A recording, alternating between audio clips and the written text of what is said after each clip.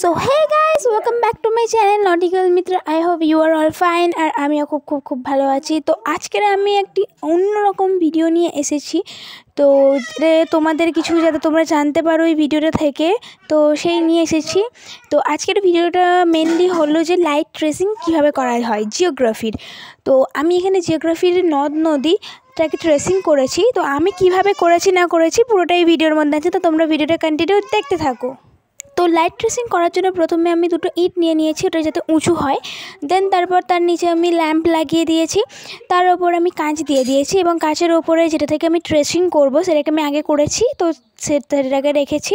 দেন তারপর তার ওপর যে পেজটার ওপর করব, সেটা রেখে আমি এইভাবে ট্রেসিং করছিলাম। তো এরকম কিছুক্ষণ করার পর লাইটের মানে এতটাই পাওয়ার ছিল যে প্রচুর পরিমাণে কাজ গরম হয়ে গিয়েছিল।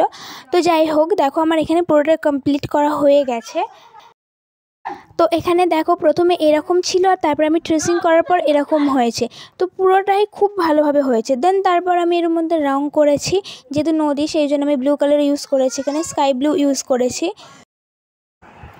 তো তারপর আমি ওখানে ব্ল্যাক কালি দিয়ে ওগুলোকে বর্ডার দিয়ে দিয়েছি, যেগুলো ছোটো ছোটো নদী আছে, সেগুলোকে ভালোভাবে বোঝানোর জন্য, ভালোভাবে বুঝিয়ে দিয়েছি।